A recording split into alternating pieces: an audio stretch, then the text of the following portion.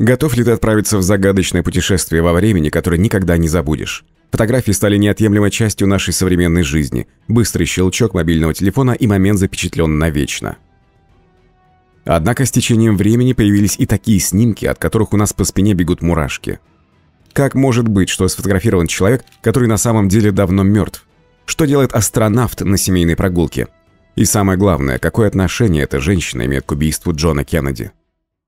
22 ноября 1963 года навсегда изменило мир. В то время президент США Джон Кеннеди находился в Далласе, чтобы агитировать за голоса избирателей и собирать пожертвования на предвыборную кампанию. Когда Кеннеди сидел в открытом автомобиле вместе с женой Жаклин, губернатором Джоном Коннелли и его женой Нелли, телохранителем и водителем, Коннелли обратился к могущественному государственному деятелю в хорошем расположении духа. На теплые слова «Господин президент, вы не можете сказать, что Даллас вас не любит», Кеннеди ответил «Нет, вы точно не можете этого сказать». Это была последняя фраза, произнесенная главой государства Соединенных Штатов. Несколько мгновений спустя в Кеннеди попали две пули, и вскоре он скончался от тяжелых ранений. Впоследствии Ли Харви Освальд был арестован как единственный подозреваемый и через два дня убит Джеком Руби. Однако это преступление и сегодня вызывает множество вопросов. Действительно ли предполагаемый убийца действовал в одиночку? Фотография, на которой изображена так называемая «бабушка-леди», ставит под большое сомнение официальную версию. Это неизвестная женщина в головном платке, которую сфотографировали на площади Дили в Далласе. Особенно озадачивает то, что эта явно пожилая дама также запечатлела драматические события на камеру и проявила необъяснимое спокойствие. По сей день самые дикие легенды окружают даму-бабушку и ее роль в убийстве Джона Кеннеди. Но ее больше никогда не видели. Как этот мертвец попал в кадр? Представь, что тебя хоронят, но ты не исчезаешь. На следующем снимке мы видим групповую фотографию времен Первой мировой войны. Однако на ниже мы видим человека, которого вообще не должно было быть на снимке, ведь он был похоронен в день снимка. Если верить захватывающим слухам, теневое лицо на заднем плане – это некий Фредди Джексон. Говорят, что он работал механиком в королевских ВВС и был случайно убит пропеллером самолета за два дня до того, как была сделана фотография. Подделка, ошибка изображения или доказательство того, что фотосессия иногда важнее путешествия в загробный мир? Сообщи нам свои мысли по поводу этого загадочного снимка в комментариях. Этот загадочный астронавт вызывает беспокойство. 23 мая 1964 года выдался великолепный солнечный весенний день, поэтому Джим Темплтон взял свою жену и двух дочерей и отправился с ними на Солвей Ферт. Будучи заядлым фотографом-любителем, Джим очень хотел запечатлеть эту прогулку на свою зеркальную камеру Кодек, но он должен был не просто запечатлеть пятилетнюю Элизабет в ее красивом новом платье. Как видно на более поздней фотографии, позади девочки вдруг появилась очень странная фигура. Мужчина, очевидно одетый во все белое, в чем-то вроде шлема астронавта, и ко всему прочему казалось, что он парит. Однако Джон Темплтон поклялся, что в момент съемки на снимке не было никакого другого человека. И, положа руку на сердце, человек, одетый так странно, сразу бы бросился в глаза членам семьи. После того, как эта история получила широкую огласку, полиция и специалисты Кодек взялись за разгадку тайны астронавта из Солвей Фирта. Безуспешно. Единственное, что они могли сказать наверняка, это то, что фотография не была подделкой. Самая жуткая фотобомба в мире. История гласит, что семья Куперов из Техаса купила старый дом где-то в 1950-х годах. В первый же вечер их пребывания там отец сфотографировал мать и бабушку, позирующих с двумя детьми за обеденным столом. Все были вне себя от радости и ухмылялись, но улыбки тут же исчезли с их лиц, когда они взглянули на проявленную фотографию. К своему ужасу Куперы поняли, что на снимке изображено теневое тело, погружающееся вниз головой. Может быть, это беспокойная душа предыдущего владельца? И снова возникает вопрос, может ли эта невероятная история действительно быть правдой? Поскольку происхождение фотографии проследить невозможно, остается много места для спекуляций. На этой фотографии изображены два настоящих призрака. В январе 1925 года Джеймс Кортни и Майкл Миен погибли на борту нефтяного танкера Уотертаун во время кораблекрушения. Но вскоре после этого, как говорят, призраки этих двух мужчин продолжали появляться на борту корабля.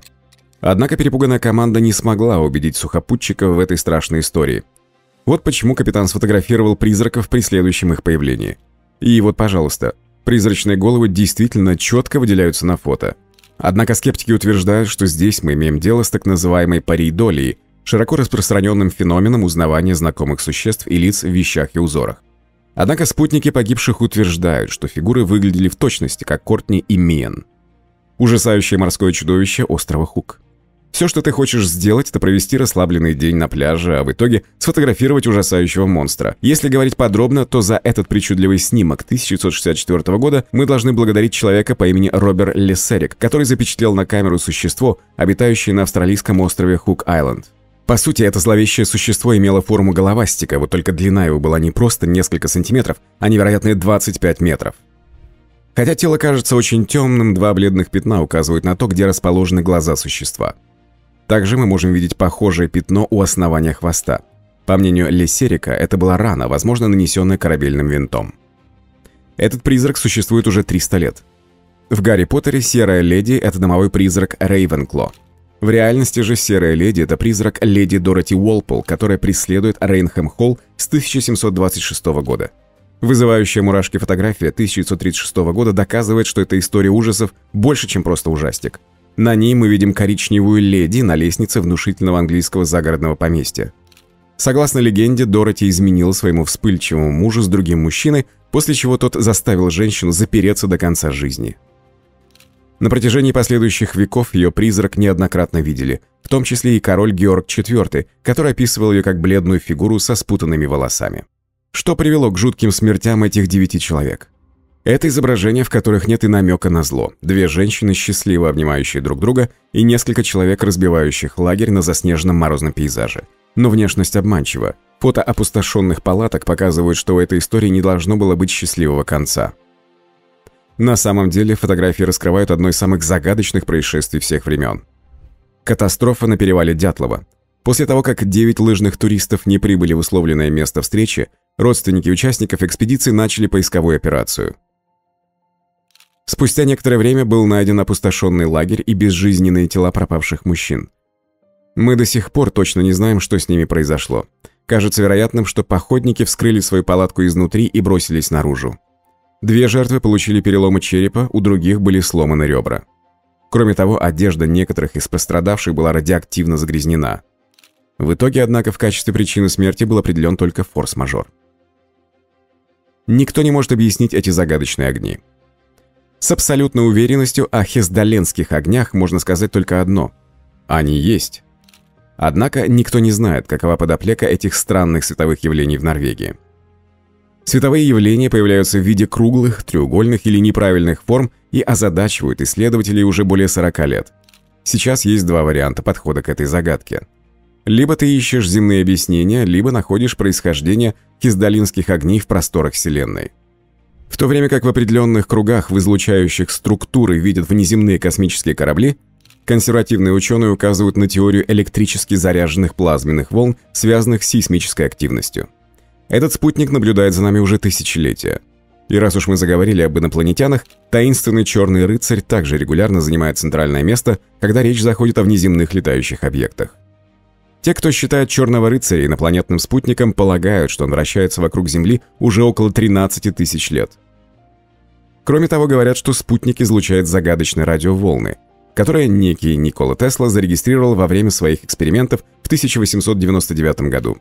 Фотография, которая была сделана в 1998 году в рамках миссии НАСА СТС-88, должна разбудить даже последних сомневающихся. Но действительно ли снимок демонстрирует нам работы высокоразвитой инопланетной цивилизации? Зачем им изучать человечество на протяжении такого длительного периода времени? Могли ли они вообще чему-то научиться у нас, учитывая уровень их технологий? Те, кто мало доверяет истории о Черном рыцаре, считают более вероятным, что на пленку просто попало потерянное термоодеяло или другой кусок космического мусора. Не терпится увидеть больше необъяснимых фотографий. Тогда чего ты ждешь? Жми на подписку прямо сейчас и жди еще много видео на эту захватывающую тему.